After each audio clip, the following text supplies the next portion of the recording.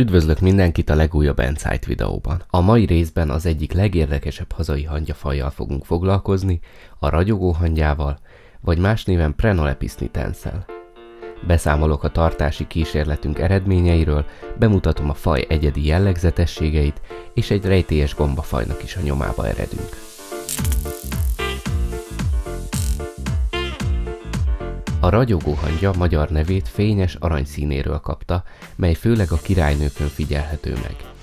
Korábban téli hangyának is hívták, mert remekül alkalmazkodtak a hűvös időjáráshoz. Ez a faj a tavasz első hírnöke a hazai hangyafajok közül, illetve a tél közelettével ő az utolsó, amely a föld alá húzódik, dolgozóival leggyakrabban tehát az átmeneti időszakokban, kora tavasszal és késő ősszel találkozhatunk a föld felszínén. Ki korán kell, aranyat lel, tartja a mondás. Ezzel a különleges stratégiával a nitenszek a föld felett éppen akkor a legaktívabbak, amikor a többi hangyafaj még csak éppen hogy ébredezik, vagy már a téli pihenőjére húzódott vissza. Ilyenkor elhappolják a zsákmányt a többi hangya elől, ám melegebb és hidegebb időben életük nagy részét a föld alatt töltik, meglehetősen rejtett életmódú állatok tehát. Az egyik legérdekesebb felfedezés, amit találtam a prenolepiszekkel kapcsolatban, nem a dél-délkelet-európában őshonos nitensre vonatkozik, hanem amerikai testvérére, a Prenolepis imparisra. Először egy amerikai weboldalon futottam bele a fotókba, majd később a videót is megtaláltam róla. Az Anthill Art azzal foglalkozik ugyanis, hogy hangyabolyokat önt ki forró alumíniummal. Miután az alumínium lehűl és megszilárdul, kiássák őket, és a fészek negatív szobráról készített fotókat és videókat közzé teszik. Művészeti és oktatási célokból teszik ezt, de a dolog etikusságába most nem menjünk bele, sokszor érintettük már a témát korábbi videókban, hogy sajnos a hangyák világában a tudomány sokszor ártatlan dolgozó áldozatok árán lép előre. Nézzük inkább, mit tanulhatunk tőlük a prenolepiszekről. Egy átlagos hangyaboly nagyjából így néz ki. Van néhány bejárata, a földfelszín alatt pedig járatok és kamrák rendszerét építik ki a hangyák, sűrű, erezetszerű elrendezésben. A Prenolepis imparis fészke viszont ettől teljesen eltérő. Még 2014-ben készítették el az öntvényét. Jól láthatjuk a rendkívül hosszú, függőleges bejárati folyosót, majd néhány nagyobb, elterülő kamra következik, és az alagút legvégén egy valamivel kisebb kamrában végződik a boly.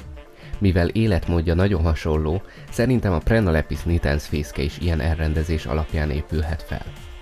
Ők sem szeretik a nagy meleget, ezért nyáron mélyen a föld alatt, a kellemes hűvösben vadásznak és keresgélnek. Ilyenkor még a fészek bejáratukat is lezárják. Várjon, csak szerettem volna még valamit megkérdezni. Hogyan vészelik át a nitenszek az átmeneti időszakot? Érdekes módon egyes dolgozók egészen szélsőségesen fejlődnek tovább náluk mozgó élelemraktárrá. Potrohuk megduzzad, és jelentős élelmet tárolnak benne, amelyel szűkösebb időszakokban táplálni tudják társaikat. Bár ezek a dolgozók ránézésre is különböznek társaiktól, mégsem beszélhetünk két dolgozókasztról, mert egyéb morfológiai különbségek nem figyelhetőek meg közöttük.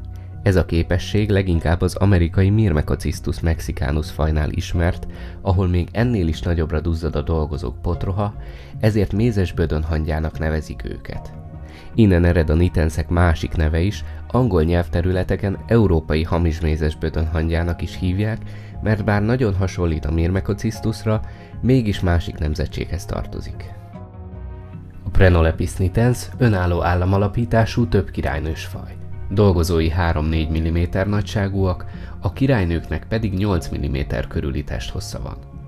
Gyakran alapítanak államot többen, és kis létszámban viszonylag toleránsak, jól együttműködnek az utódnevelésben. Bár szaporodásuk viszonylag lassú, a királynők együtt akár több ezer, néha akár óriási 10-30 ezer egyetből álló kolóniát is alapíthatnak. Egy boly élettartama akár a tíz évet is meghaladhatja, és minél idősebb egy boly, annál mélyebb járatrendszerei vannak. A nitenszek tartása egyáltalán nem egyszerű, csak gyakorlott hangyászoknak ajánlott, ezért idén egy komolyabb kísérletbe kezdtünk, hogy kiderítsük a számukra legkedvezőbb feltételeket. A kísérletben összesen 240 királynő vett részt, akiket először is két részre osztottunk, majd lévén több királynős fajról van szó, egy, kettő és három királynős csoportokra szeparáltuk. Az egyik csoport egy 18 Celsius fokos porhűtőbe került, a másik csoport pedig egy 25-26 Celsius fokos szobában került elhelyezésre a keltető időszak alatt. A fő problémát az jelenti ennél a fajnál, hogy normál tartási körülmények között viszonylag magas halálozási arány figyelhető meg.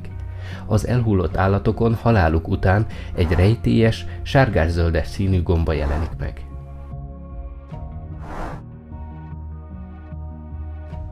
Kezdetben a hőmérsékletre gyanakodtam, és kísérleteink meg is erősítették ezt a feltevést.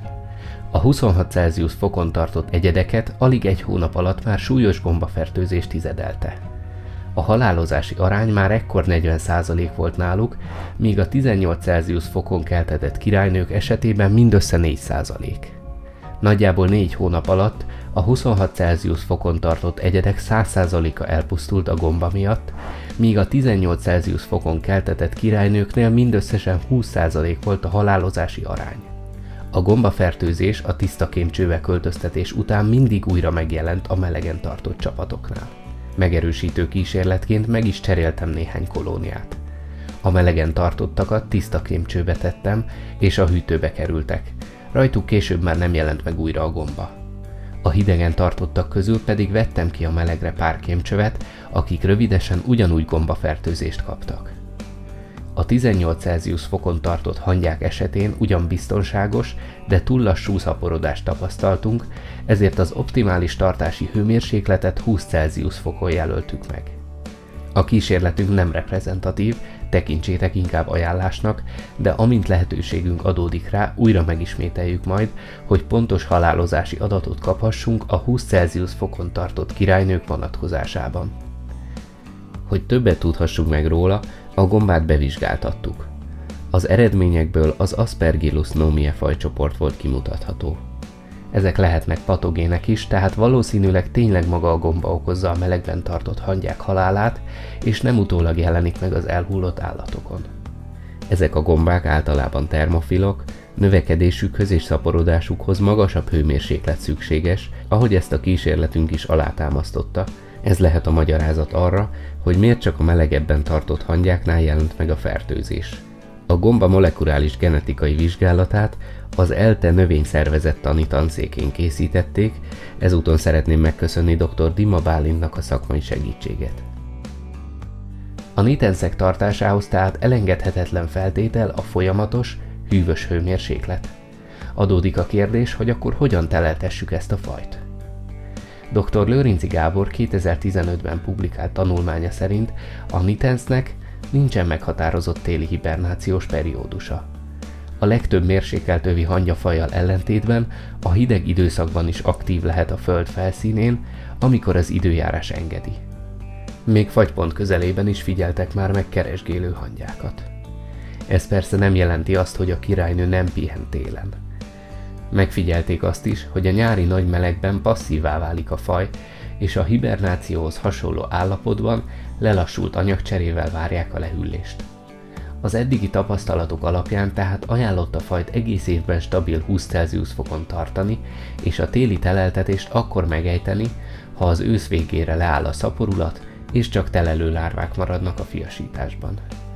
Etetni mézzel és darabolt rovarokkal ajánlott elég lassúak és félénkek, ezért élve csak az apró méretű rovarokat vadásszák le, és életmódjukból adódóan azokat is csak akkor, ha a hidegtől le vannak lassulva. Ebből is látszik, hogy a nitenszek hidegtűrő stratégiája meglehetősen egyedi lehetőségeket nyújt a számukra a természetben, kihasználva a versenytársak és a préda állatok passzivitását. Ha a téli keresgélés során egy dolgozó teste lehűl, egyszerűen visszafut valamelyik kamrájukba melegedni, majd újra kereső útra indulhat. Sok információra van még szükség, hogy jobban megérthessük ennek a hangyafajnak a sajátosságait, ezért reméljük, hogy a profi hangyatartók tapasztalatai is hozzásegítenek majd az előrelépéshez. Köszönöm, hogy megnézted a videót, ne felejts el lájkolni, feliratkozni és csengőikot nyomni, találkozunk a következő részben, ahol ismét egy kifejlett kolónia tartásáról lesz szó.